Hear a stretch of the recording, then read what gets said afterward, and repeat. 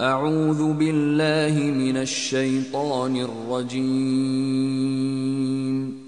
Bismillahirrahmanirrahim. Firavun halkına duyuru yapıp dedi ki: Ey benim halkım! Mısır'ın yönetimi benim elimde değil mi?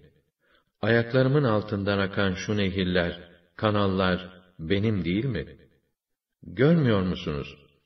Yoksa ben şu aşağılık, meramını bile neredeyse anlatamayan adamdan daha üstün değil miyim?